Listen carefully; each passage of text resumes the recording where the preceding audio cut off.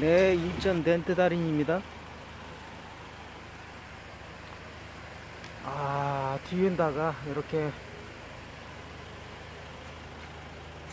좀 많이 찌그러졌는데요. 일자로 이렇게 눌리면서 이 각 부위가 이렇게 함몰이 된 것 같습니다.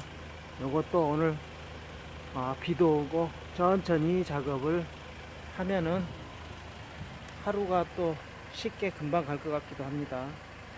작업을 시작해 보도록 하겠습니다. 감사합니다.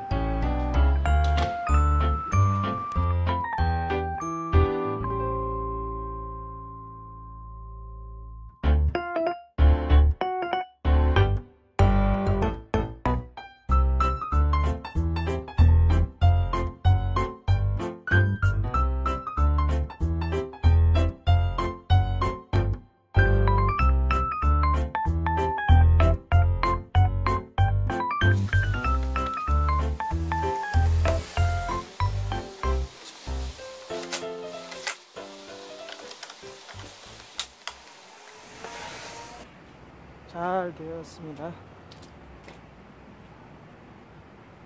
보시면은 여기서 이렇게 일자로 들어가면서 찌그러짐이 좀 많았었는데 이렇게 깨끗하니 수리가 되었습니다. 예. 괜찮네요. 잘 나왔습니다.